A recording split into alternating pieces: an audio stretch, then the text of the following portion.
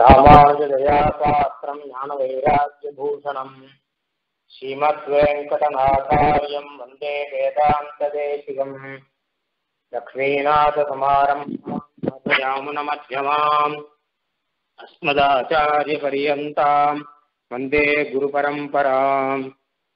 यो नित्यमच्युतपदाम्बुजयुग्मरुक्मव्यामोहतस्तदितराणि तृणाय मेने अस्मद्गुरोर्भगवतोऽस्य दैकसिन्धोः रामानुजस्य चरणौ शरणम् प्रपद्ये। मातापिता इव तयस्तनया विभूतिः सर्वम् यदेव नियमेन मदन्वयानाम्। आद्यस्य नः कुलपतेर्वकुलाभिरामम्। श्रीमत्तदङ्घ्रियुगलम् प्रणमामि मूर्ध्ना। भूतम् सरश्च महदाह्वय भट्टनाथः श्रीभक्तिदार कुलशेखरयोगिवाहान् भक्ताङ्घ्रिरेणुपरकालयतीन्द्रमिश्रान् श्रीमत्पराङ्कुशमुनिम् प्रणतोऽस्मि नित्यम् भक्तामृतम् विश्वजनानुमोदनम् सर्वार्थदम् श्रीशतकोपवाङ्मयम् सहस्रशाकोपनिषत्समागमम् நமாமியகம் திராவிட வேதசாகரம் திருவழிதினாடென்றும் தென்குருகூர் என்றும் மறுவினிய வன்பொருணல் என்றும் அருமறைகள் அந்தாதி செய்தான் அடியினையே எப்பொழுதும் சிந்தியாய் நெஞ்சே தெளிந்து மனத்தாலும் வாயாலும் வன்குருகூர் பேணும் இனத்தாரை அல்லாதிரெஞ்சேன் தனத்தாரும் ஏதும் குறைவிலேன் எந்த சடகோபன் பாதங்கள் யாமுடைய பற்று ஏய்ந்த பெரும் கீர்த்தி ராமானுசமுனிதன் வாய்ந்த மலர்பாதம் வணங்குகின்றேன். ஆய்ந்த பெரும் சீரார் சடகோபன் செந்தமிழ் வேதந்தரிக்கும் பேராத உள்ளம் பெறா வான் திகழும் சோலை மதிலரங்கர் வன்புகழ் மேல் ஆன்ற தமிழ்மறைகள் ஆயிரமும் ஈன்ற முதல் தாய் சடகோபன் மொயம்பால் வளர்த்த இதத்தாய் ராமானுசன் மிக்க விரை நிறையும் மெய்யாம் உயிர் நிலையும் தக்க நெறியும் தடையாகி தொக்கியலும் ஊழ்வினையும் வாழ்வினையும் ஓதும் குருகையர் போன் யாழினிசை வேதத்தியல் ஸ்ரீமன்னாத முனீந்திர வம்சயதிராடப்தீந்து தத்வேரித ஸ்ரீமச்சீ குருகேச கிளுப்த சடஜித் வேதாந்த பாஷ்யம் சுபம் श्रीरङ्गेश कृताज्ञया शुचिशिरसूर्युक्तधारक्रमात् व्याकुर्वन् निगमान्तलक्ष्मणमुनिर्दत्ताम् मतिम् निर्मलाम् श्रीमान् वेङ्कटनाथार्य कवितार्किककेसरी। वेदान्ताचार्यवर्यो मे सन्नीभक्ता पितामह पितामह सुतम वरेण्यम सुतं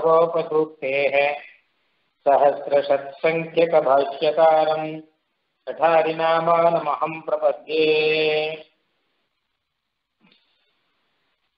आत्मा அனாதி காலமாக சம்சாரத்திலேயே இருக்கக்கூடியவன் எம்பெருமானை விட்டு பிரிந்து இருக்கான். அதாவது இவன் இருக்க வேண்டிய இடம் சீதை கொண்ட லோகத்துல. எம்பெருமானுக்கு கைங்கரியம் செய்து எம்பெருமானோட கூட இருக்கணும் அப்படிதானே நித்தியர்கள் இருக்கிறார்கள். அப்படிதானே முக்தர்கள் இருக்கிறார்கள். அதே போல எல்லா ஜீவர்களுக்குமே அந்த ஸ்வரூப யோக்கியதை என்பது உண்டு. எம்பெருமானோடு கூட இருந்து அவனை அனுபவித்து சுதந்திரமாக இருக்கக்கூடியதற்கான ஒரு யோகியதை உண்டு தகுதி உண்டு. தகுதி இருந்தாலுமே அதை அனுபவிக்க முடியல. இவனால அந்த பகவத் கைங்கரியத்தை இழந்து நிற்கிறான் கர்மங்கிற காரணத்தினாலே. இந்த சம்சாரத்துல வந்து இருக்கான். சம்சாரத்துல கட்டுப்பட்டு இருக்கான். கர்மத்தினாலே கட்டுப்பட்டு சம்சாரத்துல இருந்துருக்காங்க இது பகவானை விட்டு பிரிந்து பகவத் அனுபவத்தை இழந்து இவன் இருக்கக்கூடிய நிலை. இந்த நிலை பாதி பேருக்கு தெரியல. நம்ம இப்படி இழந்திருக்கோங்கிறது தெரியல. அது போகட்டும். அது தெரிந்தவர்கள் அதை நினைச்சு கஷ்டப்பட்டு இருக்கா ஐயோ இப்படி பகவானுடைய ஒரு அனுபவத்தை இழந்து நிற்கிறோமே அப்படின்னு. அதுக்கப்புறம் அவர்கள் உபாயம் பண்ணினபடினால ஒரு கால விசேஷத்திலே அவர்கள் தீனி குண்டு லோகத்துக்கு போவார்கள் அங்கே பகவானோடு ஆனந்தமாக சந்தோஷமாக இருப்பார்கள். அப்படின்னு ரகசிய சாஸ்திரங்கள்லாம் நமக்கு சொல்லியிருக்கா நிறையா. இந்த பகவானை விட்டு பிரிந்த நிலை அப்படின்னு ஒன்று இருக்கும் இல்லையா? அதுதான் ராத்திரி. பகவானோடு சேர்ந்து இருக்கும் நிலை அப்படிங்கிறது பகல் என்பதாக அழகா சொல்றார் சக்ரித் திவா வைவாஸ்து பவதி அப்படின்னு உபநிஷத்து சொல்றது எம்பெருமானோடு சேர்ந்து இருந்துட்டான்னா அதுக்கப்புறம் பகல் தான் ராத்திரிங்கிறதே கிடையாது. சிவகண்ட லோகத்துல பகல் மட்டும்தான். ராத்திரின்னு ஒண்ணு கிடையாது. ராத்திரினா அஜானம் ராத்திரினா இருட்டு தேஜஸ் கிடையாது. அதெல்லாம் எதுவும் கிடையாது ஸ்ரீரங்கத்தில் வெளிச்சம்தான் இருக்கும் இருட்டு கிடையாது. ஞானம் தான் இருக்கும் அஜானம் கிடையாது. அதனால அந்த சீனிகண்ட லோகங்கிறது பகல்னு வச்சுப்போம். ஓ ஒரு பகலுக்கு முன்னாடி ராத்திரி இருக்க முடியும். அந்த மாதிரி இந்த சம்சாரம் அப்படிங்கிறது ராத்திரியா? சம்சாரத்தை பலவிதமாக சொல்வது வழக்கம். சம்சாரங்கிறது காடு அப்படின்னு சொல்லுவான் சம்சாரம் என்கிற அக்னி அப்படின்லாம் சொல்லுவான் இந்த மாதிரி பலவிதமாக சொல்றது உண்டு இல்லையோ? அந்த மாதிரி சம்சாரங்கிறது ஒரு ராத்திரி அப்படின்னு சொல்ற வழக்கம். ராத்திரியில ஞானம் பிறக்காது? யாருக்குமே? வழி தெரியாது? அந்த மாதிரி சம்சாரத்துல ஞானம் பிறக்காமல் சம்சாரத்துல வழி தெரியாமல் எங்கேயோ போய் எங்கேயோ விழுந்து என்னமோ பட்டு இருக்கான். அதனால இந்த ராத்திரி அதுவும் நீண்ட ராத்திரியில இருக்கும் நீண்ட சம்சாரத்துல இருக்கா மாதிரி இருக்கான். சுவாபோத்போதிகரணிபே போக மோக்ஷாந்தராலே காலம் கஞ்சி ஜெகத விதினா கேலசித் காப்பியமானாக அப்படிங்கிற சுவாபோத்போத இது ராத்திரியில தூங்குற மாதிரி. அது உத்போத அது முழிச்சுட்டு இருக்கா மாதிரி. இது மோட்சங்கிறது போக மோக்ஷாந்தராலே இது ரெண்டுத்துக்கும் நடுவில் இருக்கானா? சரணாகதி பண்ணுவான். அப்படின்னு தேசிய அழகா ஒரு ஸ்லோகத்துல சொல்றேன் எதுக்காக தெரியும் சொல்றேன் அப்படின்னா இப்போ ஆழ்வார் இருக்கக்கூடிய நிலைக்கு சுவாபதேசமாக நாம் இந்த அர்த்தம் வச்சுக்கலாம் ஆழ்வார் வந்து எம்பெருமானை விட்டு பிரிந்து அந்த சோகம் தாழ முடியாமல் அவர் அடக்கி கொண்டிருக்கிறார். அதுல அடிக்கடி பார்த்தோம்னா ராத்திரி ராத்திரின்னு ராத்திரியை பற்றி சொல்றார். ஒரு நாயிகா பாவத்துல ஆழ்வார் இருக்கிறபடினாலே நாயிகைகளுக்கெல்லாம் நாயகனை விட்டு பிரிந்து இருக்கும் போது பகல் நேரத்தை கூட பொறுத்து கொண்டு விடலாம். ஆனால் இரவு நேரத்தை பொறுத்து கொள்ள முடியாது. ரெண்டு பேருக்குமே நாயகன் நாயகி ரெண்டு பேருக்குமே விரகத்துல இரவு நேரம் அப்படிங்கிறது பொறுத்துக்க முடியாமல் இருக்கும். என்ன காரணம் அப்படின்னா பகல்ல அந்த நாயகன் விஜாட்டா கூட இன்னும் பத்து விஷயங்கள் இருக்கு. பத்து பேரோட பேசிட்டு இருக்கலாம் பத்து விஷயங்களை பார்த்துட்டு இருக்கலாம் வேடிக்கையான பார்த்துட்டு இருக்கலாம் ஆனா இங்க அப்படி இல்லை. ஊரெல்லாம் துஞ்சி உலகெல்லாம் நள்ளிருளாய் நீரெல்லாம் தேறி ஓர் நீளிரவாய் நீண்டதால் அப்படின்னு ஆழ்வார் கவிக்கிறேன் மற்ற பேரும் தூங்கிட்டான் இருட்டா இருக்கு எங்க பார்த்தாலும் எதையும் பார்க்க முடியல. யாரோடையும் பேச முடியல. எந்த சப்தமும் காதலுக்கு வேண்டிய நிசப்தமா இருக்கு. அந்த மாதிரி சமயத்துல ஓர் நீளிரவாய் நீண்டதால் அப்படின்னு நீண்ட ஒரு ராத்திரி காலராத்திரி மாதிரி நீண்ட ஒரு ராத்திரியாக இருக்கிறதே அப்படின்னு எம்பெருமானை விட்டு பிரிந்து இருக்கக்கூடிய கஷ்டப்பட்டு கொண்டிருக்கக்கூடிய நாயகியாக ராத்திரி நேரம் வந்த போதே அது ரொம்ப நீண்டு இருக்கிறதாக பாவித்து ஏன்னா எம்பெருமானை விட்டு பிரிந்து இருக்கிறபடினாலே அப்போ இந்த பாசனங்கள் அருளி செய்கிறார் அப்படின்னு வருது இது முக்காலத்து எல்லா பாசனத்திலுமே இந்த ராத்திரியை பற்றி அழகா சொல்றார். ஓரிரவு ஏழு ஊழியாய் அப்படின்னார். போன பாட்டுல ஒரு ராத்திரிங்கிறது ஏழு ஊழியா இருக்கான் ஒரு ஒரு ராத்திரி இது. அதுவே ஏழு கல்பமாய் ஓரிரவு ஏழு ஊழியாய். ஒரு கல்பம் போல. ஒரு ராத்திரி ஏழு கல்பமா இருக்கும். நெய் வந்து நின்று உண்மையாகவே நெய்யாகவே வந்து முன்னே நின்று அப்படிங்கிற அந்த மாதிரி ராத்திரி காலமானது அவ்வளோ நீண்டதாக இருக்கும்படியாக இவருடைய அனுபவம். நான் விரகத்தினாலே ஒவ்வொரு க்ஷணமும் போகிறது கஷ்டமா இருக்கு. ஒவ்வொரு துருட்டி இருக்கேங்கிற ஒரு துருட்டியும் ஒரு யுகம் மாதிரி போறது. ஒரு க்ஷண காலங்கிறது ஒரு யுக காலம் மாதிரி போயின்னு இருக்கு இப்படி ராத்திரியில எம்பெருமானை விட்டு பிரிஞ்சு கஷ்டப்பட்டு இருக்காருங்கிறது சம்சாரத்திலே எம்பெருமானை விட்டு பிரிஞ்சு கஷ்டப்பட்டு இருக்கும் அப்படிங்கிறதுக்கு சமானமா இருக்கு. எம்பெருமான் எப்போ வந்து கூட்டுக்க போறானோ அப்படின்னு சொல்ற ஒவ்வொரு பாட்டிலுமே சொல்ற கைவந்த சக்கரத்து என் கண்ணனும் வாரானால் மண்ணின்ற சக்கரத்து என் மாயவனும் வாரானால் தூப்பால வெண்சங்கு சக்கரத்தன் தோன்றானால் காரந்த மேனி நம் கண்ணனும் வாரானால் காவிசேர் வண்ணன் என் கண்ணனும் வாரானால் காயும் கடுஞ்சிலை என் காக்குத்தன் வாரானால் அப்படின்னு பகவான் வரலையே பகவான் வரலையே அப்படின்னு அதே தானே சொல்லிட்டு இருக்க அப்போ எம்பெருமான் வரான்னு வச்சுக்கோங்க. அப்போ அந்த ராத்திரி முடியும். அந்த மாதிரியாக நாமளும் எம்பெருமான் வந்து நம்மை கூட்டிக் கொள்ளவில்லையே. கதா கதா கதா கதா புனஸ்தங்க ரசாங்க கல்பகான்னு ஆரம்பிக்கிற ஆளவன் எப்போ என்ன வந்து கூட்டுக்கு போறேன்? இன்னும் வரக்கானுமே அப்படிங்கிற. சுவாமி ராமானுஜனும் சாதிக்கிற அந்த மாதிரியாக எப்பொழுது எம்பெருமான் வரப்போறானோ அப்படின்னு அவனையே எதிர்பார்த்துண்டு இப்போ அவனை பிரிஞ்சு இருக்கோம். இப்போ அவனையே எதிர்பார்த்து எதிர்பார்த்துண்டு இங்கே இருக்கக்கூடியவர்கள் அவர்களுடைய நிலையை ஒக்கும்படியாக அவர்களுடைய நிலைக்கு ஒரு உதாரணம் சொல்லும்படியாக சொல்லலாம். சாபதேசமாக அதாவது எம்பெருமானை விட்டு பிரிஞ்சு அத்தனை துக்கப்படணுமா நாம எப்படிப்பட்ட எம்பெருமானோட கூட இருக்கணும்? சீவிக உலகத்தை எப்படி ஆனந்தமா இருக்க வேண்டியவா நாம ஏதோ வந்து இங்க உட்காந்து இந்த ஆகாரத்துக்கும் நித்திரைக்கும் இதுக்கெல்லாம் வசப்பட்டு சரீர ஜன்மங்களுக்கு வசப்பட்டு உடம்பு நோய் ஒன்று இல்லாம பாத்துக்கணுமே அப்படின்னு இதுக்காகவே காலத்தை கழிச்சுண்டு. இப்படி போயின்னு இருக்கு உடம்பையே பெருசா நினைச்சுட்டு இருக்கோம். ஆத்மாவுக்கு வரக்கூடிய பகவத் அனுபவம் அப்படிங்கிறது தெரியல. இந்த ராத்திரியும் நீண்ட ராத்திரி மாதிரி இருக்கு. இல்ல வயசாகி கட்டத்தில் ஒவ்வொருத்தரையும் எப்போ வந்து எம்பெருமான் கூட்டுக்க போறானோ அப்படின்னு ஆயிடும். சலிச்சு போயிடும். அந்த மாதிரி நிலையில ஆழ்வார் அருள் செய்யற பாசனங்கள் ஆனபடினாலே இங்கே ஒவ்வொரு பாசனத்திலுமே இரவை பற்றி இருக்கு. ஒவ்வொரு பாசனத்திலும் எம்பெருமான் எப்போ வரப்போறான் வரப்போறான் அப்படின்னு சொல்லியிருக்கு. வெண்சுடர் இப்போ நம்ம வந்து ஒன்பதாவது பாசுரம் பார்ப்போம்.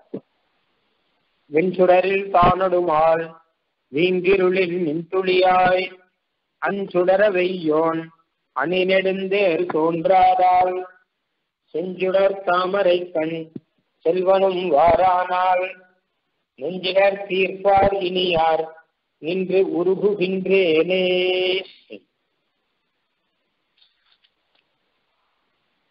அதாவது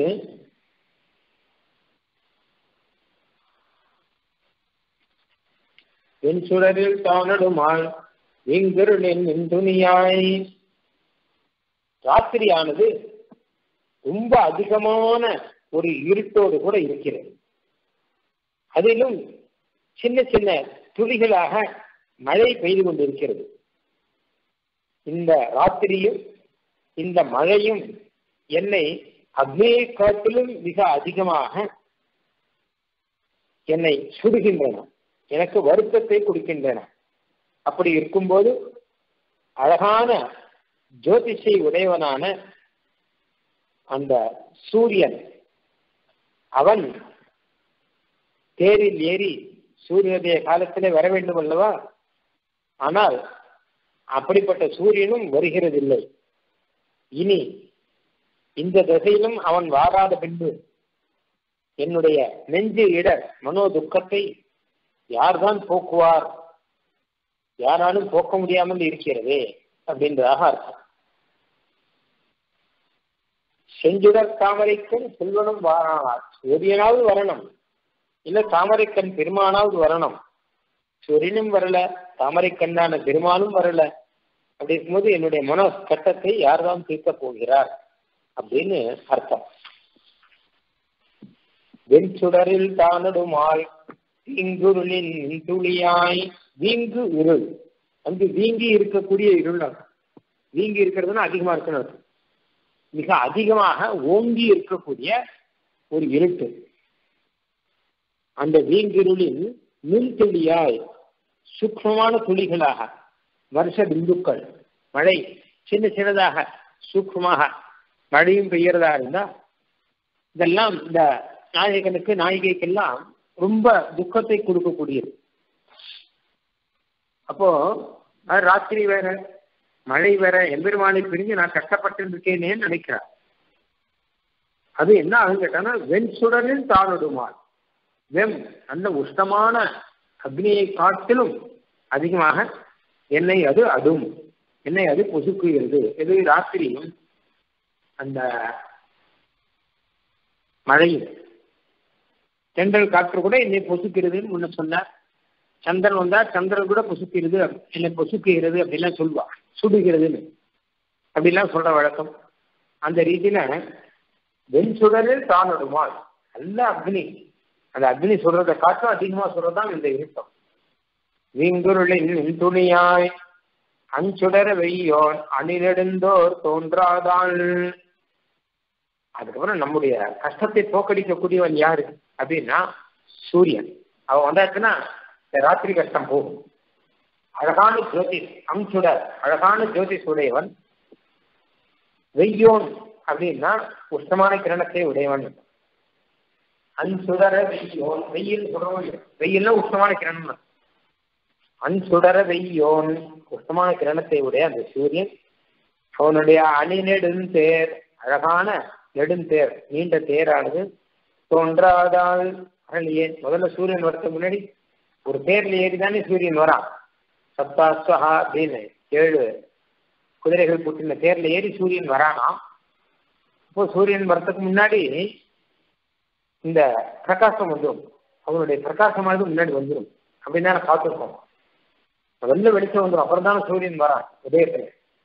அப்போ அந்த தேர்ல ஏறி அவன் வரணுமே. அந்த தேராவது வருதா? எங்கேயாவது பார்த்தா எங்கேயும் வரக்கானுமே அஞ்சொடர வெய்யோன் அணி நெடுந்தேர் தோன்றாதான் அதாவது இந்த ராத்திரியை போக்கி நம்முடைய கஷ்டத்தை போக்கு இருக்கக்கூடியவன் அந்த சூரியன் அழகான ஜோதிஷாலே ஜோதிஷ்தானே ராத்திரியை போக்கும். அந்த மாதிரி இருக்கக்கூடிய சூரியனுடைய அணி நெடுந்தேர் அந்த தோன் தேர் கூட வரக்காணுமே. சூரியன் வரட்டா பரவாயில்ல. பகவானாவுக்கு நேரம் வந்தா என்னுடைய துக்கம் தீரும். ஆனால் செஞ்சுடர் தாமரைக்கண் செல்வனும் வாரானார். செஞ்சுடர் தாமரைக்கண்.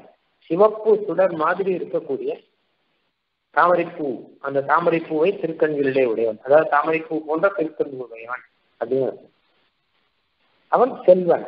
செல்வன சிவப்பதி செஞ்சுடர் தாமரை கண் செல்வனும் வாரானால் அப்படின்னு.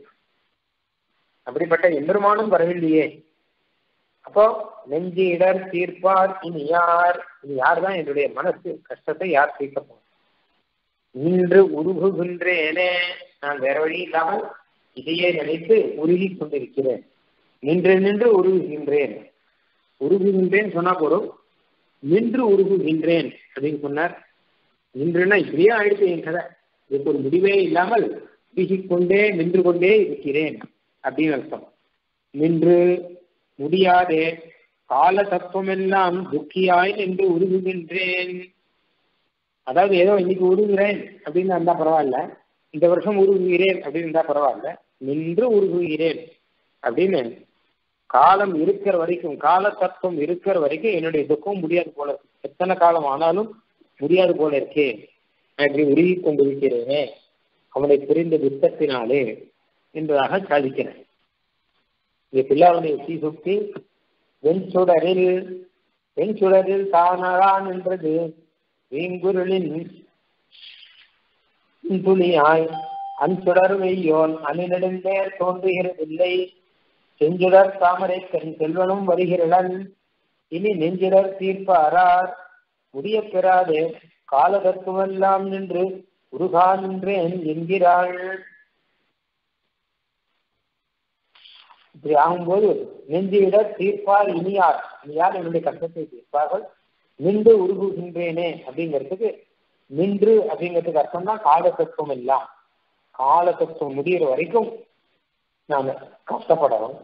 இந்த கஷ்டத்திலேருந்து மாறணும்னா ஒரே வழி என் உயிர் போகணும். ஆனால் உயிரும் போகாமல் முடிய பெறாதே கால தத்துவம் எல்லாம் நின்று உருகான் இருக்கிறேன் என்கிறாள் அப்படின்னு.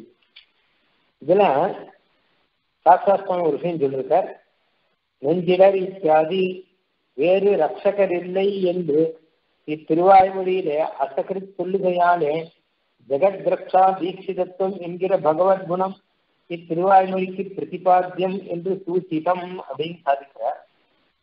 எம்பெருமான் ரட்சிக்கக்கூடிய எம்பெருமான் வரவில்லையே ரட்சிக்கக்கூடிய எம்பெருமான் வரவில்லையேன்னு எல்லா பாட்டிலும் சொல்லிட்டு இருக்கார் அதனால எம்பெருமான் ரட்சகன் அப்படின்னு சொல்லுங்க ஒரு தடவை சொன்னா பரவாயில்ல. ஒவ்வொரு பாட்டிலையும் சொல்ற எம்பெருமான் ரட்சகன் எம்பெருமான் ரட்சகன் அவன் வரலையே அதுவும் இல்லாமல் என்னுடைய துக்கத்தை பொறுத்துவதற்கு எம்பெருமான் வரவில்லையே. அவன் வரணுமேன்னு சொன்னாலே அப்பவே எம்பெருமான் ரட்சகன் தான் இருக்கும். ஏன்னா ரட்சகனானு தானே வரலைன்னா நம்ம கஷ்டப்படுவோம்? ஒரு உடம்பு சரியில்லைன்னு வச்சுக்கோங்க. டாக்டர் வரணும். டாக்டர் வரணும் ஐயோ கூட்டு டாக்டர் வரலையே அப்படின்னு கஷ்டமா இருக்கும். உடம்பு சரியில்லைன்னா வேற யாராவது பக்கத்தாத்துக்காரன் வரலையே அப்படின்னு தோணும். அந்த மாதிரியாக என்னுடைய கஷ்டம் தீர்க்கணும்னா எம்பெருமான் தான் அந்த ரட்சகன் அவன் தான். அதனால அப்படிப்பட்ட ரட்சகனாலே எம்பெருமான் வரவில்லையே வரவில்லையே என்பதாக இவள் இவள் பாடுபட்டிருக்காள் கஷ்டப்பட்டுக் கொண்டிருக்கிறாள் என்பதாக அர்த்தம். இதைத்தான் நின்று உருகுகின்றேனே. இனி நெஞ்சிடர் தீர்ப்பாரினியார் முடிய பெறாதே. கால தத்துவம் எல்லாம். எனக்கு தானம் போனாலும் பரவாயில்ல. முதல்ல பார்த்தோம் நம்ம. உன் பாசனம் இல்லையே உயிர் கூட போக முடிவதில்லை அப்போ கால தத்துவம் எல்லாம் நின்று உருகா நின்றேன் என்கிறார். அப்படின்னு இந்த பாட்டினுடைய தாற்பயம். அடுத்த பாசுரம். நின்று உருகுகின்றேனே போல நெடுவானம் சென்று உருகி நின்துளியாய் செல்கின்ற கங்குள்வாய் அன்று ஒரு கால் கையம் அளந்த வினான் வாழான் என்று ஒன்று ஒரு கால் சொல்லாது. உலகோ உறங்குமே. லோகத்துல எல்லாம் நான் வந்து நின்று உருகி கொண்டிருக்கிறேன். விடாமல் உருகி கொண்டிருக்கிறேன். என்னை போலவே பார்த்து மாணவன் கூட பாடம் படித்து விட்டது போதும். அதுவும் என்னை போலவே நின்று உருகி கொண்டே இருக்கிறேன். என்ன கேட்டா சின்ன சின்ன நுண்ணிய துணியோடு கூட மழை பெய்து கொண்டிருக்கிறது.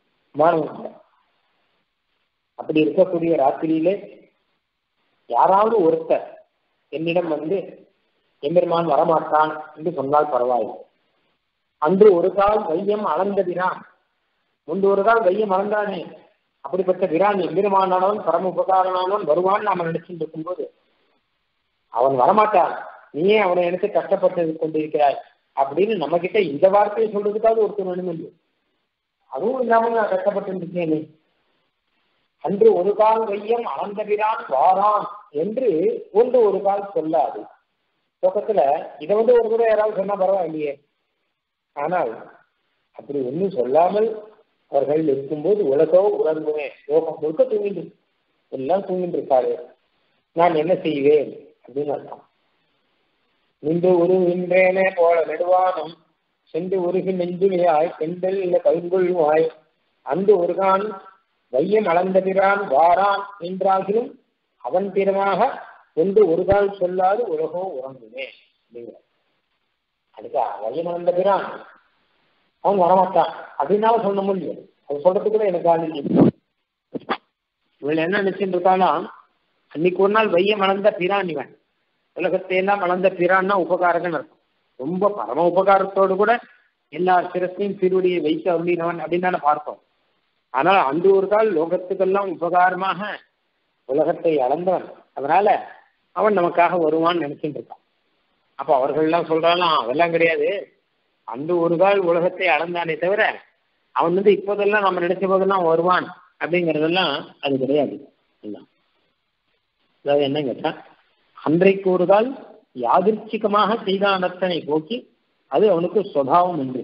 ஏதோ அன்னைக்கு ஒரு நாள் செஞ்சுட்டான்னா ஏதோ எதிர்ச்சியா செஞ்சுட்டான் அவன்? ஆனா எம்பெருமானுக்கு இது சுபாவம் கிடையாது.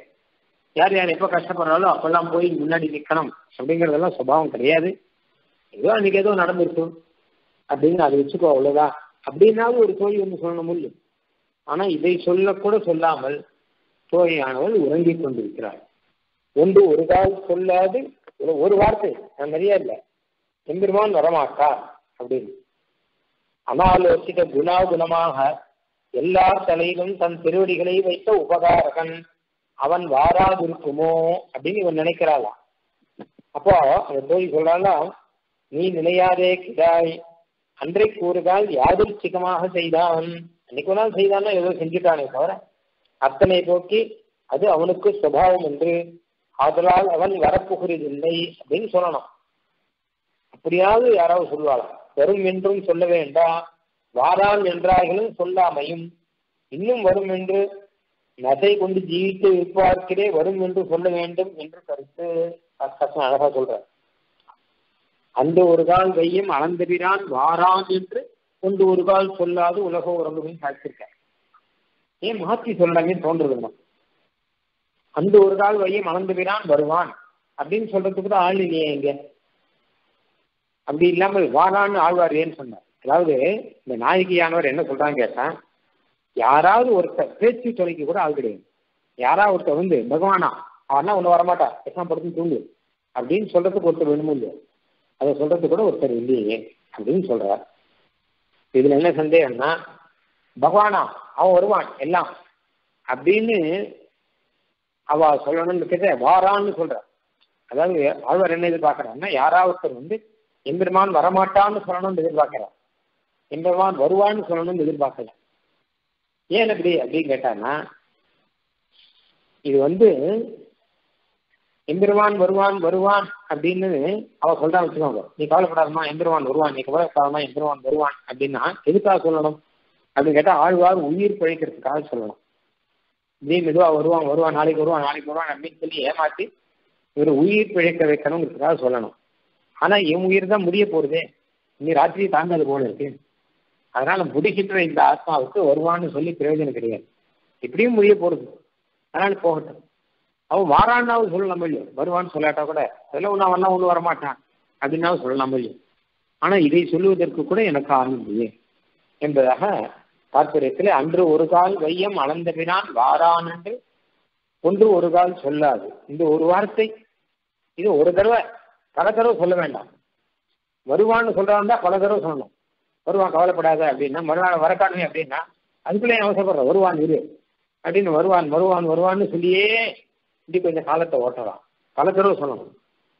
ஆனால் வாரான் அப்படிங்கிறத ஒரு தடவை சொன்னாலே போதும். அவன்லாம் ஒன்று வரமாட்டான் பேசாமல் இருக்கும் அப்படின்னு சொன்னால் போதும். சட்டுன்னு பொட்டில் அடித்த மாதிரி புரிஞ்சு போயிடும் அது. அப்படி ஒரு தடவை சொன்னால் போதுமே. நான் என்ன பல தடவை சொல்றதை பார்க்குறேன் யாராவது ஒருத்தர் ஒரு தடவை எம்பெருமானை பற்றி அவன் வரமாட்டான் அப்படின்னு சொன்னால் பரவாயில்ல. ஆனா ஒன்று ஒரு கால் சொல்லாது. இப்படியெல்லாம் சொல்லாமல் உலகோ உறங்குமே. லோகத்துல மொத்த பேரும் தூங்கிட்டு இருக்காளே இந்த விஷயத்தை சொல்லக்கூட சொல்லலையே. அப்படிங்க. இன்னொரு விதமா அர்த்தம் சொல்லலாம். அன்று ஒரு கால் வையம் அளந்தபிரான் வாரான் என்று. ஒன்று ஒரு கால். ஏதோ என்று இதை வச்சுட்டு அதுக்கப்புறம் இன்னும் ஒண்ணு. இன்னொன்று என்னன்னா வரும் அப்படின்னு. வாரான்னு சொல்றதுக்கு ஆள் இல்லை. வரும்னு சொல்றதுக்கு ஆள் இல்லையே. அப்படின்னு அதையும் கூட சேர்த்து வச்சுக்கலாம் என்பதாக ஒரு வியாக்கியானம் இருக்கு. இப்படி ரெண்டும் சொல்றதுக்கு ஆள் இல்லையே என்பதாக சொல்றேன் அன்று ஒரு கால் வையம் அளந்த வீரான் வாரான் என்று ஒன்று ஒரு கால் சொல்லாது உலகோ உறங்குமே இது மற்ற பேரும் சொல்லியிருக்காளே என்பதாக சொன்னார். நின்று உருவுகின்றேனே போல நெடுவானம் சென்றுருகி கந்துளியாய் செல்கின்ற கங்குல்வாய் இந்த ராத்திரி வேளையிலே நின்று உருகுகின்றேனே போல. நானு நின்று நின்று ஒரு கால் ஒழியாமே துக்கை கதானியாய் நின்று உருகா நிற்கிற என்னை போல விசாலமான ஆகாசமானது. அதாவது ஒரு தடவை கூட இல்லாமல் எப்பவும் நின்று நின்று உருகின்றேன் ஏதோ ஒரு தடவை உருகிட்டு அப்புறம் போயிட்டாங்கிறது இல்லை. உருகிறது தவிர வேற கிடையாது. எம்பெருமானை நினைத்து நினைத்து உருகுவதை தவிர வேற கிடையாது. அப்படி நின்று உருகின்றேன் அதே மாதிரி என்ன பார்த்து ஆகாசமும் அதுவும் நின்று உருக ஆரம்பிச்சிருக்கு என்ன மழை பெய்யுது உருகா நிற்கிற என்னை போலே விசாலமான ஆகாசமானது அதுவும் என்ன நெடுவானம் சென்று உருகி அதுவும் உருக ஆரம்பிச்சிருக்கு நுண்துளியாய் சின்ன சின்ன துளியாக மழை பெய்யும். செல்கின்ற அப்படி நடந்து கொண்டிருக்கிற கங்குள்வாய் ராத்திரியிலே அப்படின்னு அர்த்தம். இந்த ராத்திரியிலே மழையோடு இருக்கக்கூடிய இந்த ராத்திரியிலே இனி எங்கே எம்பெருமான்லாம் வருவான் வரமாட்டான் என்ற வார்த்தையை சொல்லுவதற்கு கூட எனக்கு ஆள் இல்லாம இருக்குன்னு நான் உலகம் உறங்குமே லோகமெல்லாம் உறங்கி கொண்டிருக்கிறேன் எனக்கு உறக்கம் வரவில்லையே. அன்று ஒரு கால் வை எம் அளந்த விரான் மாற இன்று ஒரு கால் சொல்லாது உலகம் உறங்குமே என்பதாக சொன்னார். இப்படி எம்பெருமானை பிரிந்து ராத்திரியிலே ஆழ்வார்பட்ட விஷயங்களை எல்லாம் பத்து பாடல்களிலே பார்த்தோம். பதினோராவது பாடல் பலஸ்கிருதியாக வரக்கூடிய பாடல். அதாவது இந்த திருவாய்மொழியை பாராயணம் பண்ணால் அதனால் வரக்கூடிய பலனை சொல்றார். உறங்குவான் போல் யோகு செய்த பெருமானை சிறந்த பொழில் சூழ் குருகூர் சடகோபன் நிறங்கிளர்ந்த வந்தாதி ஆயிரத்துள் இப்பத்தால் இறந்து போய் வைகுந்தம் சேராவாறு எங்கனேயோ எம்பெருமான் உறங்கிக் கொண்டிருப்பவன் போலே இருக்கிறான். ஆனால் யோகம் செய்யக்கூடிய பெருமான் ஜெகத் ரட்சணத்தை சிந்தனை பண்ணக்கூடிய பெருமான். அந்த எம்பெருமானை குறிந்து நம்மாழ்வார் அருளி செய்தார். சிறந்த பொழில்கள் சூழ்ந்த திருக்குறுகுறிலே வந்த சாமி நம்மாழ்வார் அருளி செய்த ஆயிரத்துல இந்த பத்து பாட்டு உயர்ந்ததான பாட்டு. இந்த பத்து பாட்டானது யார் இந்த பத்து பாட்டை யார் சொல்லுகிறார்களோ அவர்கள் இறந்து போய் வைகுந்தம் சேராவாறு எங்கனே அவர்கள் இறந்து போன அப்புறம் வைகுந்தம் போகாமல் வேற எங்கதான் போயிடுவான். வைகுந்தம் போகாமல் எப்படி இருப்பார்கள் அப்படிங்கிற அதாவது வைகுந்தம் கட்டாயம் கிடைக்கும் என்பதாக அர்த்தம். இறந்து போய் வைகுந்தம் சேராவாறு எங்கனேயோ சரீரத்தை விட்டு போய் வைகுந்தத்துக்கு போகாமல் எப்படி இருப்பார்கள்? வைகுந்தத்துக்கு போவார்கள் கட்டாயமாக. அப்படின்னு அர்த்தம். இதுல வைகுந்தம் சேராவாறு எங்கனையோ அப்படின்னு சொன்னா போதும். இறந்து போய் அப்படின்னு ஒண்ணு கூட சேர்த்திருக்க அதாவது நிறங்கிழந்த அந்தாதி ஆயிரத்துள் இப்பத்தா திருவாய்மொழியில இருக்கக்கூடிய இந்த பத்து பாசங்கள் இருக்கு. இந்த பத்து பாசத்தினுடைய பலனாக என்ன வரும் அப்படின்னு கேட்டாங்கன்னா வைகுந்தம் வரும் அப்படின்னு சொன்னான்னு வச்சுக்கோங்க. அப்போ வைகுந்தம் இப்பவே வரும். இல்லையே. வர்ற சமயத்துல அது வரும். பின்னாடிதான் ஒரு வரும் வைகுண்டங்கிறது மரணமானால் வைகுண்டம் கொடுக்கும் பிரான் அப்படின்னு தானே இருக்கு. அதனால மரணத்துக்கு பின் வருங்கிறது தெரியும். ஆனா இறந்து போய் அப்படின்னு ஒன்று கூட சேர்த்திருக்க. அதுக்கு என்ன தாற்பயம் கேட்டா இந்த திருவாய்மொழியை யார் அபியாசம் பண்றாலோ அவ வந்து உயிர் தரிக்காது அவள். அவ உடனே இறந்து போய் வைகுண்டம் சேர்ந்துருவார் உடனே இறந்து போகாமல் இருக்க மாட்டார்கள் என்பதாக இருக்கும் இவ்வளவு ஆச்சரியமான எம்பெருமாண்டிய வியோகத்தை பற்றி அழகாக சொல்லக்கூடிய ஒரு திருவாய்மொழி ஆனபடினாலே இவர்கள் இப்படி இறந்து போகாமல் இருப்பார்கள். இந்த பார்த்தா எம்பெருமானை விட்டு பிரிந்து பிரிவினாலே இவர்கள் தமும் இறக்க வேண்டும். இறந்து போய் வைகுந்தம் சேர வேண்டும். இப்படி சேராமல் இருப்பார்கள். அதாவது அழகா சொல்ற இந்த ஆர்த்தியை கேட்டவர்களுக்கு சரீரம் இல்லாது சரீரம் விட்டால் அவர்களுக்கு பரமபத பிராப்தியும் தப்பாது. யாழ்வாருடைய அந்த கஷ்டத்தை இந்த பத்து பாட்டு அனுபவிச்சுவாருக்கு அவளுக்கும் அந்த கஷ்டத்தை தாங்க முடியாது. அவள் சரீரமும் விட்டு பிரிய நேரிடும். இப்ப சரீரம் பிரிஞ்சானா அப்போ வைகுண்டமும் பிரி கிடைக்காது. ஆனால் அப்படி இல்லைங்கிற இது எல்லாரும் இறந்து போய் வைகுண்டம் இந்த அனுபவம் வந்தா போதும். எல்லாம் சாதிக்கிற இத்திருவாய்மொழியிலே சொன்ன ஆட்சியை அனுசந்தித்தார் எங்கனே தரிக்கும்படி அப்படின்னு முடிச்சுட்டாங்க. எப்படி உயிர் தரிப்பா? இந்த நம்மளுடைய கஷ்டத்தை பார்த்தா இவ உயிரே போயிடுது. என்பதாக அர்த்தம். இந்த நம்மாழ்வாருடைய பாசனத்தை பற்றி சொல்லும் போது முதல்ல உறங்குவான் போல் யோகு செய்த பெருமானை சிறந்த பொழில் சொல் குருகூர் சடகோகம் சொல் அப்படின்னு ஒண்ணு சொல்லிருக்க பெருமான் வந்து உறங்குவான் போல நித்திரை பண்ணுவான் போல இருக்கான் ஆ யோகம் பண்ணிட்டு இருக்கான். சுவாத்மானுபவ யோகம் பண்ணிட்டு இருக்கான் எல்லாம் சாதிக்கிறார் சுவாத்மானுபவ ஜனித நிரவதிக ஆனந்த மகிம பிரசக்த கைமித்யத்தாரே நித்தரங்க மகார்ணவ சதிருஷனான எம்பெருமானை சொல்லி அலற்றின இத்திருவாய்மொழியில் சொன்ன ஆர்த்தியை அனுசந்தித்தார். எங்கனே தரிக்கும்படி என்கிறார். அதாவது உறங்குவான் போல் யோகம் செய்த பெருமான். உறங்குவான் போல இருக்கான். ஆனா சாத்மானுபவ யோகம்.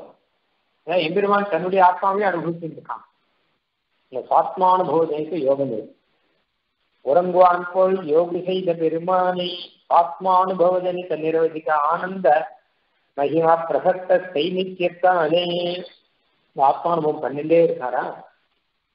ஆத்மானுபவம் பண்ணி பண்ணி பண்ணி இவர் இருந்து இருக்கும்போது நித்தரங்க மகார்ணவ சதிருஷனான எம்பெருமானை சொல்லி எம்பெருமான் ஆத்மானுபவம் பண்ணிக்கொண்டு உறங்குவான் போலே யோகு செய்து கொண்டு இருக்கிறார். அப்போ அந்த ஆனந்தத்தினால என்ன இருக்குன்னு கேட்டான்னா அப்படியே அசையாமல் ஆடாமல் நிற்கிறங்க அலை இல்லாத கடல் எப்படி அமைதியா இருக்குமோ அந்த மாதிரி பெருமாள் அமைதியா இருக்கா பெருமாள் யோகத்தின் இறங்கிறத இருக்கிறார் அதாவது ஆத்மானுபவத்தை பண்ணிட்டு நிச்சலமாக கொஞ்சம் கூட அசைவு இல்லாமல் அனுபவத்தை பண்ணிட்டு இருக்காராம். அப்படிப்பட்ட எம்பெருமானை பற்றி நிறம் கிளர்ந்த வந்தாதி அப்படிங்கிற. நிறம் கிளர்ந்த கானம் வின அப்படின்னு அர்த்தம் பார்த்துக்க நல்லா பாட்டாக இருக்கக்கூடிய அந்தாதி. ஆயிரத்தில் இவை பத்தா இப்பத்தால் இறந்து போய் வைகுண்டம் சேராவாறு எங்கனேயோ இப்படிதான் இறந்து போய் அவர்கள்லாம் வைகுண்டம் போகாமல் இருப்பார்கள். என்பதாக அர்த்தம். அதனால சரீரம் தெரிக்கிறதே அவனுக்கு கஷ்டம் அப்படின்னு அதையே சொல்ற. இங்க உறங்குவான் போல் யோகி செய்த பெருமானை அப்படிங்கிறது அப்படி நிச்சலமா பகவான் இருக்கா கொஞ்சம் கூட அசையாமல் இருக்கார் அப்படின்னு அர்த்தம்.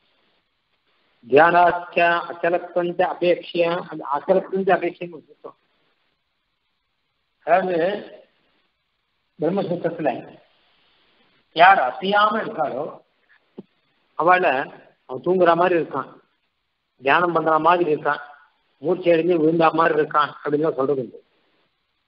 தியானம் பண்ற மாதிரி இருக்கானே. தியாயதி வ பிருத்திவி பூமி தியானம் பண்ற மாதிரி இருக்கு அப்படின்னு அவன். என்ன அசையாம இருக்கான். மரம் செடி கொடியெல்லாம் காத்துல அசையிலே இருந்தாதான் நல்லா இருக்கும். அசையிலன்னு வச்சுக்கோங்க. காற்றே இல்லை மரமே அசையிலன்னா மரம் தியானம் பண்ற மாதிரி இருக்கு அப்படிங்கிறான். அந்த மாதிரி இப்ப எம்பெருமான் அசையாம இருக்கான்னா எம்பெருமான் தியானம் பண்ற மாதிரி இருக்கான். உறங்குவான் போல் யோக செய்து அப்படின்னு சொல்லணும். இப்போ அப்படி சொல்ல முடியாது எப்படி சொல்லணும் கேட்டாங்கன்னா எம்பெருமான் தியானம் பண்ணிட்டு இருக்க ஆனா தூங்குற மாதிரி இருக்கான்.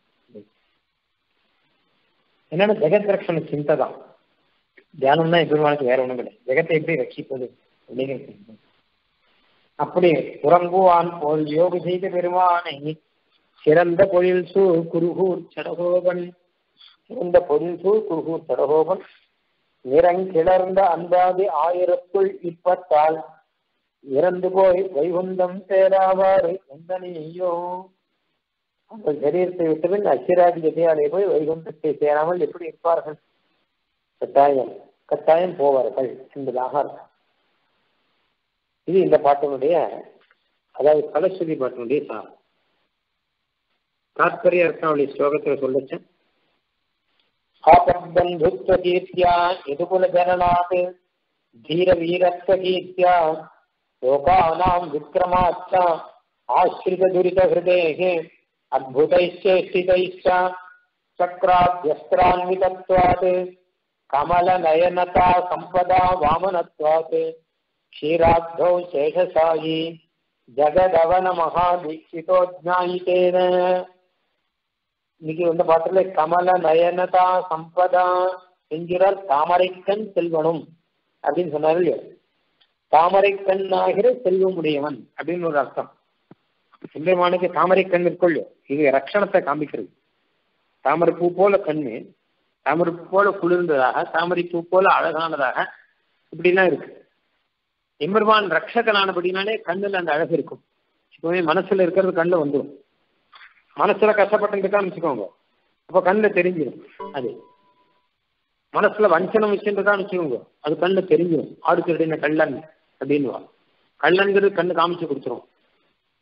அந்த மாதிரியாக எம்பெருமான் ரட்சண சிந்தையிலே இருக்கான் அப்படிங்கிறத அவனுடைய திருக்கண்கள் காமிச்சு கொடுக்கறதா. அப்போ அப்படிப்பட்ட திருக்கண்களை உடையவன் கமல நயனதா சம்பதா. கமல நயனன் அப்படிங்கிற ஒரு சம்பத் அப்படிங்கிற ஒரு செல்வம் எம்பெருமானுக்கு தானே இருக்கு. அப்படிங்கிற.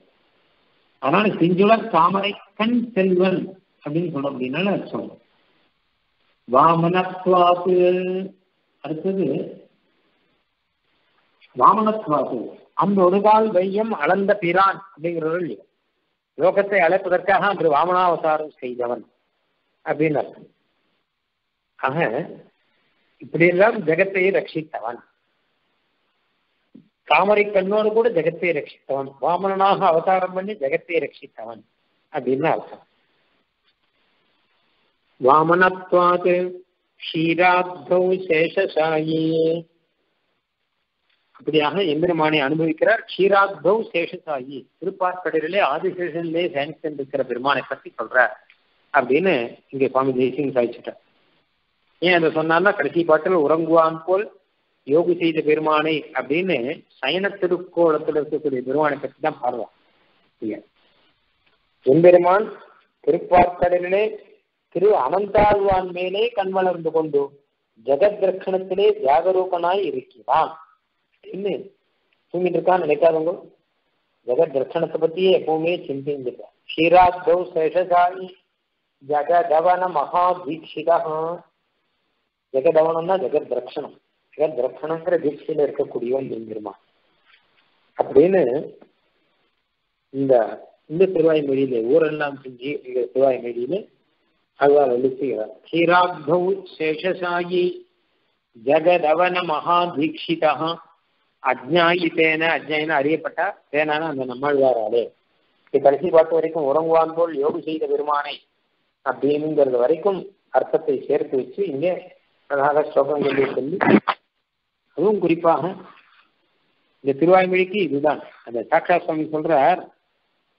இதை பத்தி சொல்லும்போது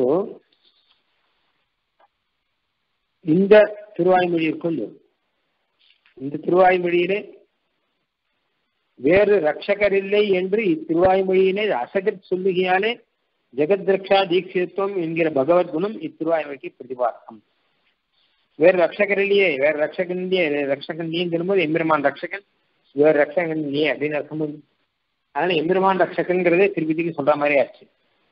அப்போ ஜெகத் ரக்ஷன் தீட்சிதா அப்படிங்கிற அர்த்தமானது இந்த திருவாய்மொழியிலே சொல்லப்பட்டது என்பதாக சுவாமி சாதிக்கிறார். அடுத்ததாக அடுத்த திருவாய்மொழி பார்க்கணும். எங்கனேயோ அன்னமீர்கள் என்னை முனிவது நீர். நங்கள் கோல திருக்குறுங்குடி நம்பியை நான் கண்டவின் சங்கினோடும் நேமியோடும் தாமரை கண்களோடும் செங்கனிவாய் ஒன்றினோடும் செல்கின்றது என் நெஞ்சமே என்றதாக ரொம்ப நாள் கழிச்சு திவ்யதேச அனுபவம் வரணும் திருக்குறுக்குடி அனுபவம் வரப்போகிறது.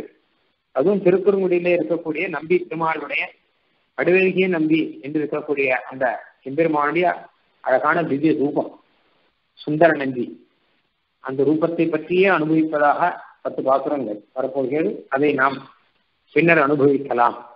ஆழ்வார் எம்பெருமானார் தேசிகன் திருவடிகளே சரணம்.